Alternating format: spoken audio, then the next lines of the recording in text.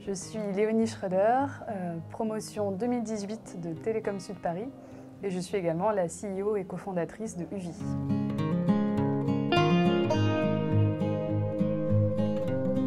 J'ai choisi de faire euh, un bac S, une prépa MPSI, PSI et ensuite d'arriver à TSP. Euh, j'ai trouvé une école qui était bien classée, avec beaucoup de débouchés sur des métiers d'avenir.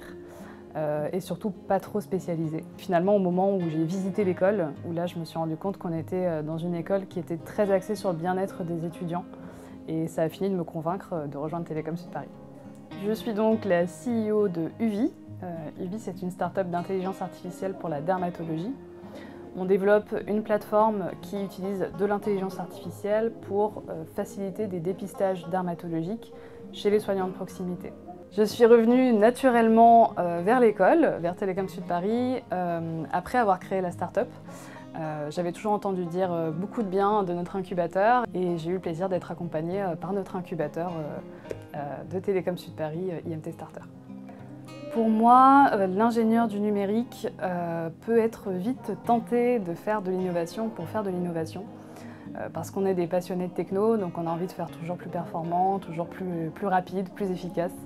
Euh, mais le plus important, c'est toujours se concentrer sur le besoin et de faire en sorte que le numérique serve à une cause qui nous tient à cœur. Et notamment, euh, les ingénieurs du numérique dans le médical sont euh, très prisés et très attendus. Effectivement, c'est le cas en start-up. On essaie de recruter régulièrement des anciens élèves de l'école, mais aussi auprès de nos autorités de santé, des grands groupes.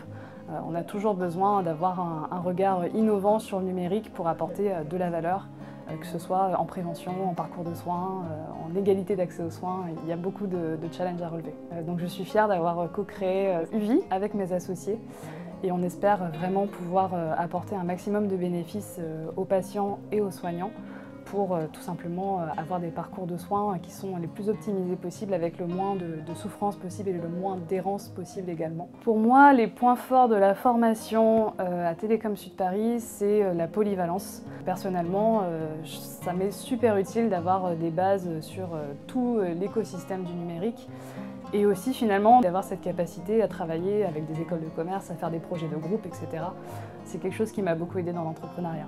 Le conseil que je donnerais aux élèves ingénieurs, notamment les élèves ingénieurs de Télécom Sud Paris, c'est de prendre des risques, puisque finalement avec un diplôme et des connaissances comme celles qu'on acquiert en école, euh, c'est facile de pouvoir euh, trouver un emploi stable et sécurisé. Euh, donc on a toujours cette sécurité-là derrière nous. Donc c'est le moment de tenter des choses, d'aller creuser un besoin qui nous intéresse particulièrement.